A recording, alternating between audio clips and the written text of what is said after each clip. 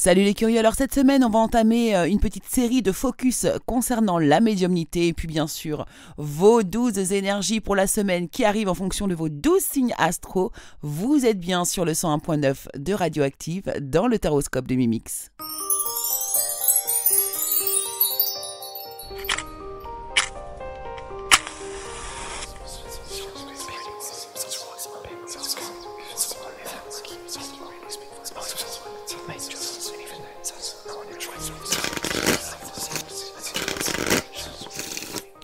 Hello, hello, hello, bonjour à toutes et bonjour à tous, chers curieux. Je suis ravie de vous accueillir ici une nouvelle fois dans le Taroscope de Mimix sur le 101.9 de Radioactive.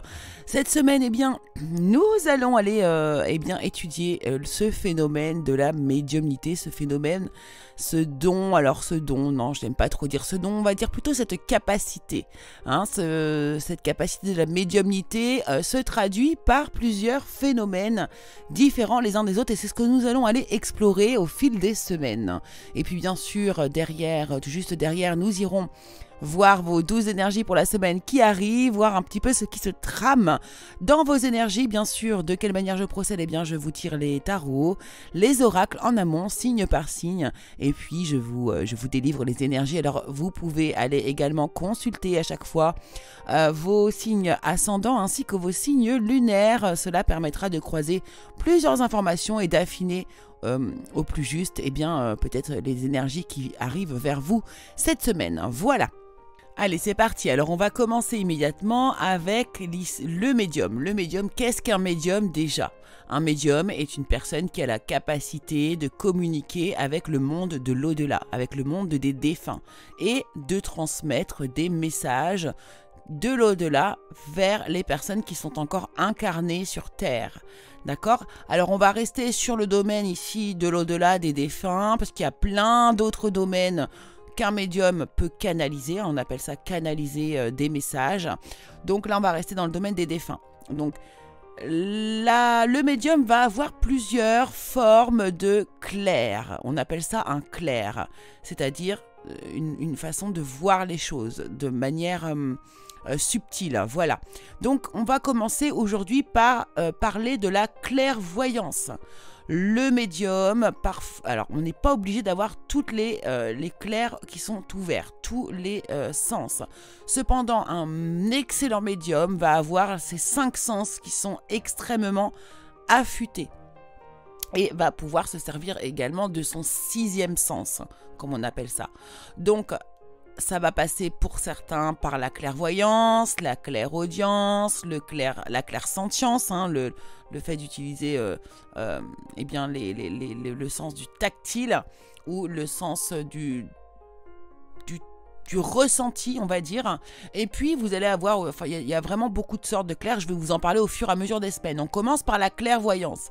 La clairvoyance, eh bien, c'est le fait de voir en fait, hein, tout simplement. Donc on va voir les défunts, alors on va les voir soit en écran mental, donc avec des visions intérieures, euh, des symboles euh, pour pouvoir voir un peu le, pour comprendre le message qui euh, nous est transmis avec des visions, ou bien on va pouvoir voir le défunt également comme, comme on vous voit vous, c'est-à-dire dans la réalité, enfin sur le même plan que nous qui sommes incarnés. Donc on va aller voir ben, comme quelqu'un de vivant en fait quelque part. Donc voilà, la clairvoyance, c'est le fait de voir, de voir les défunts, de voir le monde subtil, soit par écran mental, soit dans la réalité. Bien sûr, pour que le défunt puisse se montrer entièrement dans la réalité, vraiment euh, aussi, euh, euh, on va dire, dense qu'un être encore incarné, il va lui falloir énormément d'énergie. Ce qui fait que du coup, euh, il est très rare qu'un défunt se montre entièrement des pieds à la tête. Souvent, on va avoir la moitié du corps, euh, ce qui est déjà pas mal, pas mal du tout. Et puis euh, également, vous allez pouvoir apercevoir aussi des défunts sous forme de, de d'espèces de boules d'énergie comme par exemple les orbes ou bien, des, espèces de boules d'énergie un peu plus grosses, un peu plus couleur feu, voilà, qui peuvent se balader comme ça dans une pièce. Donc ça, on va avoir cette capacité-là. On peut voir également des ombres, hein. on peut voir les ombres qui se déplacent dans une pièce. Ça va être aussi le défunt qui va se montrer de cette manière avec l'énergie qu'il aura réussi à accumuler. Hein, et puis euh, également par les phénomènes physiques, c'est-à-dire de faire vaciller des lumières, euh, de faire euh, ouvrir, ouvrir des, tiroirs, fermer des portes. Vous voyez, c'est un moyen aussi de, aux, défunts de se montrer et, et, il va le faire par le biais de la clairvoyance aussi à travers ça.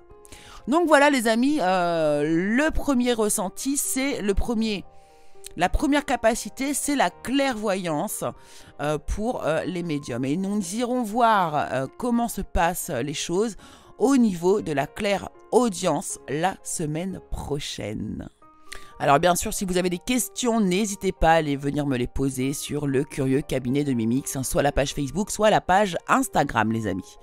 Allez, c'est parti, on va y aller, on va aller scruter vos énergies pour la semaine qui arrive. C'est parti, on y va et on commence avec les... Bélier. Alors les béliers, vous êtes cette semaine dans une énergie de mouvement, on va dire, ouais, de mouvement. Donc euh, euh, peut-être des déplacements qui sont prévus pour vous, des échanges, de la communication, des transactions, on se met d'accord. Euh, voilà, moi je sens qu'il y a beaucoup, beaucoup de mouvements ici pour vous les béliers. En tout cas pour beaucoup d'entre vous, hein, il y a du trafic, comme on dit. Au niveau professionnel, eh bien, on vous parle d'équilibre, hein, d'échange d'idées, d'association d'idées. vous trouvez des compromis aussi. Hein, euh, euh, on, sent que vous travaillez autour d'un projet ou alors que vous essayez de, maîtriser un projet.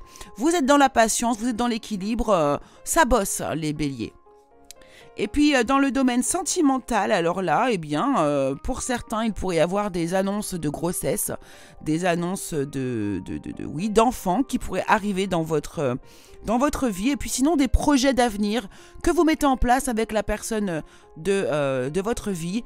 Et puis euh, pour ceux qui sont célibataires, eh bien écoutez, euh, un, un petit coup de, un renouveau arriverait dans votre vie. Donc vous pourriez faire une, une rencontre en fait cette semaine, en vivre un début d'histoire, les amis. Votre conseil Envisagez le meilleur, imprégnez-vous de cette idée avec ardeur, elle aura tendance à devenir réalité. On vous parle du pont du futur. Donc là, on voit bien qu'il y a des projets qui sont en route. Taureau. Eh bien, pour vous les taureaux, cette semaine, vous êtes à votre juste place, hein. vous êtes euh, euh, au bon endroit, vous régnez en maître dans votre vie, c'est parfait. Et justement, vous êtes en train de transformer quelque chose, vous êtes en train de muter, de transformer, euh, voire de faire éclore quelque chose à l'intérieur de vous, là. Vous prenez vraiment possession de votre, corps, de votre esprit et de vos idées. Euh, concernant le domaine professionnel, on vous dit que vous êtes passionné, confiant, charismatique, agité. Donc il y a des événements qui nécessitent une action immédiate. Alors fiez-vous à votre instinct. Hein. Restez déterminé. Euh, vous pourriez vivre des instants passionnants, passionnants. Et puis dans le domaine amoureux, ici, on vous dit que vous pourriez avoir une surprise. On vous parle d'inattendus, de vœux qui s'exaucent, d'événements heureux pour vous cette semaine, les taureaux. Votre conseil, le voici, et on vous dit, maîtrisez vos pensées négatives et ne vous laissez plus manipuler par elles. Gémeaux. Alors les Gémeaux cette semaine, on vous demande de vous protéger un petit peu. Pourquoi? Alors il pourrait, alors certains pratiquent, hein, certains ont des pratiques ésotériques, je pense.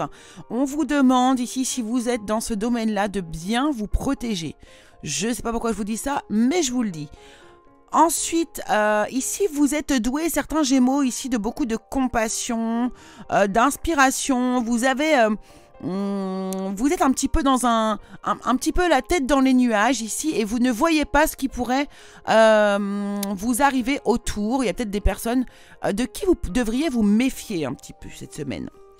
Dans le domaine professionnel ici, on vous dit de réexaminer de vieux rêves ou de vieux projets. N'hésitez pas euh, euh, à, regarder un petit peu dans le passé si vous avez des projets qui vous tenaient à cœur parce que vous pourriez du coup les mettre en route. Également euh, aussi ici un rapport à l'enfance très fort. Et puis, dans votre domaine sentimental, on vous parle de richesse intérieure, euh, également de sécurité et d'argent ici. Donc cette semaine, vraiment dans tous les domaines, ici on va vous parler de sécurité. Essayez de regarder un petit peu ce qui ne va pas, ce qui n'est pas... euh, ce qui n'est pas équilibré au niveau de votre protection, de votre sécurité dans tous les domaines. Et le message pour vous, eh bien, c'est la fluidité. En dansant avec les situations difficiles, vous rencontrez les bonnes personnes et vous attirez de l'aide. Cancer. Alors les cancers, vraiment une magnifique semaine, c'est très très très très beau. Alors pour ceux qui ont une vie spirituelle, cette semaine, vraiment, vous pourriez avoir des connexions extraordinaires, euh, euh, bénéficier de cadeaux un petit peu, voyez, de l'univers. Euh, vous êtes vraiment connecté, vous arrivez à... hum, en fait, vous récoltez tout ce que vous avez semé. Ici, vous avez fait un gros travail sur vous et euh, ça va, bah, écoutez, ça va vous profiter cette semaine. C'est exactement ça. Donc, on voit que certains pourraient avoir, euh, eh bien, des capacités qui s'ouvrent euh, justement cette semaine, mais aussi tout simplement recevoir des cadeaux, des cadeaux du ciel, un peu, voyez. avoir bénéficié de beaucoup de chance, recevoir des présents, voyez, c'est ça. C'est ça votre semaine, les cancers. Dans le domaine professionnel, c'est pareil ici. Des nouveaux départs, euh, on se libère de situations qui étaient difficiles de par le passé ou qui vous empêchaient d'avancer. Il y a une transformation spirituelle aussi de ce côté-là, c'est magnifique. Et puis, euh, pour euh, le domaine amoureux, on vous parle par contre de non-dit. Donc, soit c'est vous qui ne dites pas tout ce que vous avez à dire, ou soit c'est la personne qui, qui a des choses un peu inavouées. Donc euh, là, à voir pour vous, des choses sont cachées d'une manière ou d'une autre. Et puis le conseil pour vous, c'est la réponse qui vous est donnée. Écoutez votre cœur, regardez en vous et alors tout s'éclaire, les amis. Lion. Alors les lions, cette semaine, bon, là c'est pas c'est pas trop trop la joie. hein. On remet euh, les pendules à l'heure un petit peu du côté des lions. Ici, on voit qu'il y a une, justi- une justice, une décision extrêmement importante qui va être prise, euh, qui met un peu de temps. euh, Il y a des contretemps, il y a des retards, des déconvenus, vous voyez, des ralentissements aussi. On se sent peut-être jugé. Voilà, là il y a un travail intérieur à faire, les lions, parce que vous n'êtes pas au au mieux de votre forme ou vous n'êtes pas dans votre alignement. hein. Vous qui avez beaucoup confiance en vous, d'habitude, euh, là, c'est pas le cas. Euh, côté professionnel, ici, on vous parle de, ben, c'est pareil, hein, vous travaillez trop, trop dur, vous avez besoin d'un équilibre, euh, de plus d'équilibre dans votre vie, en fait. hein. Laissez les autres aussi vous aider. et puis, attention, parce que certains aussi pourraient avoir des problèmes de santé qui sont dus au stress, les lions. Alors dans le domaine sentimental, c'est pas la joie non plus. Là, on peut par- on vous parle de rupture, de séparation, de silence, de crise, et c'est un peu dur pour vous là. Le conseil pour vous, c'est la volonté. Justement, alors on vous dit soyez volontaire, avancez en appréciant la personne que vous êtes. Donnez-vous davantage d'amour, les lions, et vous allez voir que vous pourrez en donner davantage aux autres. Vierge. Alors les vierges, cette semaine, vous êtes fatigués, vous avez... Alors soit vous êtes malade, euh, euh, il y a quelque chose qui vous, qui vous ralentit en fait cette semaine. hein. Ici, on voit qu'il y a quelque chose un peu toxique. Alors soit c'est dans votre esprit, soit... Alors ça peut être aussi de la dépendance euh, à quelque chose qui vous lèse en fait. hein. Ici, vous, je vous dis, il y a des mots, il y a un mal-être ou il y a des incertitudes. euh, voilà, on est dans une semaine pas très très chouette pour vous c'est lourd pour vous les vierges cette semaine.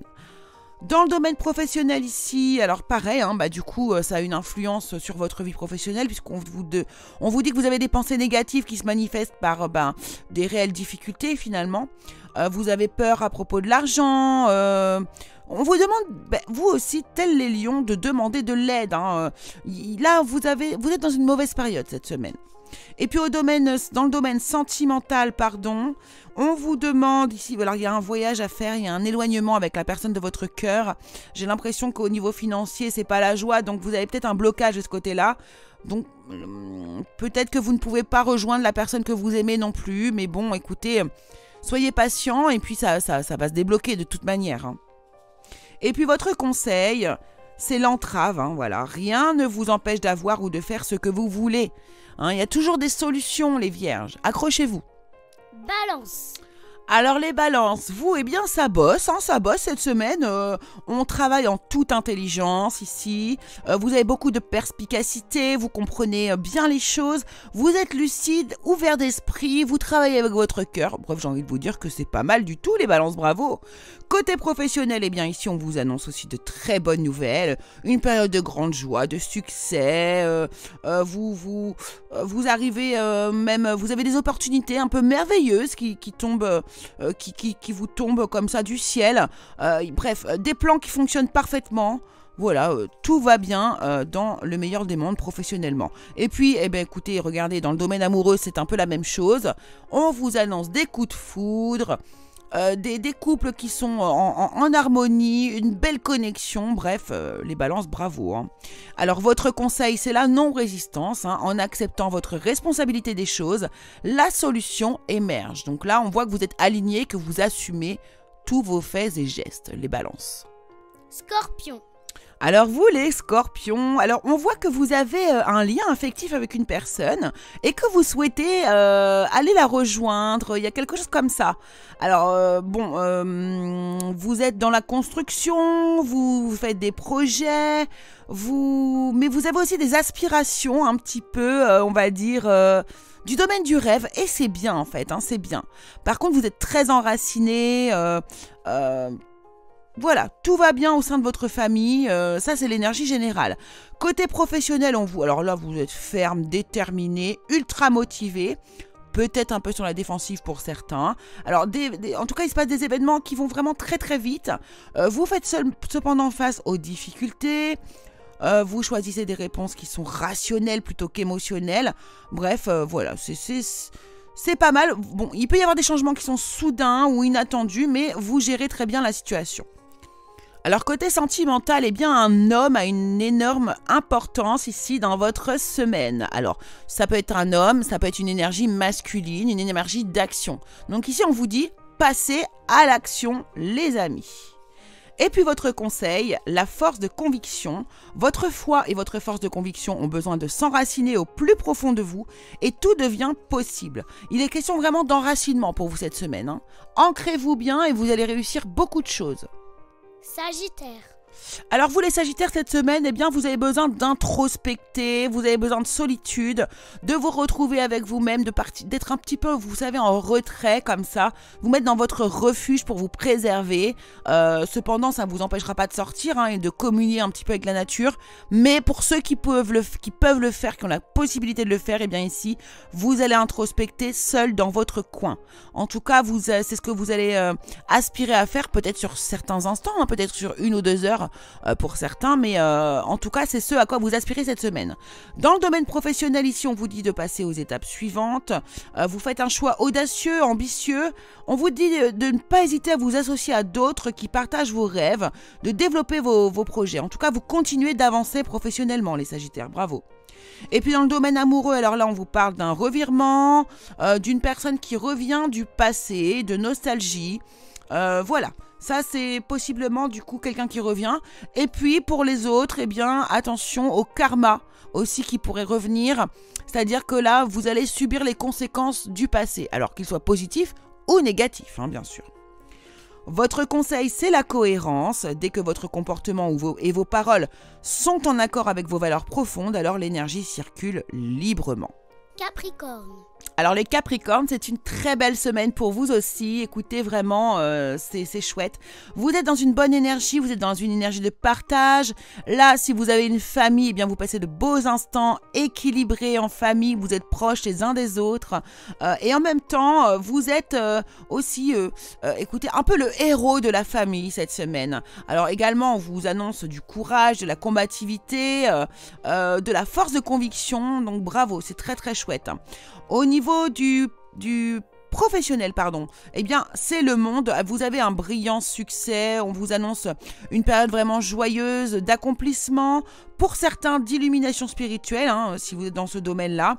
Et puis, la liberté de faire ce que vous voulez. Alors, soyez, soyez plutôt fiers de vous. hein, c'est vraiment chouette. Dans le domaine sentimental, on vous parle de votre entourage familial. Hein, voyez, votre clan, votre environnement, il est bien solide autour de vous. Et si vous avez besoin de soutien, ils sont là pour vous euh, dans le plan relationnel. Et justement, donc votre conseil, c'est le grand plan.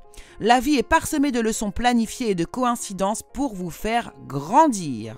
Verseau. Alors les versos, vous cette semaine, alors vous êtes un petit peu divisé en deux, déchiré en deux, vous êtes dans une, dans une forme de dualité, vous voyez.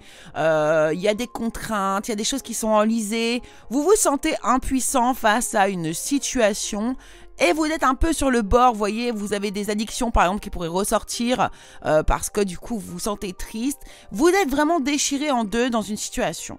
Côté professionnel, ici, on vous parle d'une opportunité incroyable. On vous demande d'être audacieux, courageux, optimiste, car c'est le moment de passer à l'action. Hein. donc, faites ce qui vous passionne ici, les versos. Justement, contrebalancer cette énergie avec le professionnel. Où, tout va bien. Et puis, euh, dans le domaine amoureux, on vous parle d'une relation karmique, alors d'une âme sœur, euh, un partenaire de vie qui est là autour de vous. Euh, j'ai l'impression que c'est de cette personne-là que vous avez du mal à vous détacher, d'accord? Euh, Et que c'est là qu'est votre contrainte. Pour certains autres ici, alors vous pouvez vivre des relations un petit peu tumultueuses, difficiles de compréhension, mais malgré tout, vous êtes attiré par cette personne quoi qu'il en soit. Et puis d'autres qui vont, euh, eh bien, du coup, devoir se séparer de ces personnes. Et puis, votre conseil ici, c'est le film, hein. c'est le moment de sortir des rêves, de votre cinéma personnel pour entrer dans la réalité de la vie. Voilà, c'est exactement ça. Vous êtes divisé entre la réalité et vos rêves. Poisson.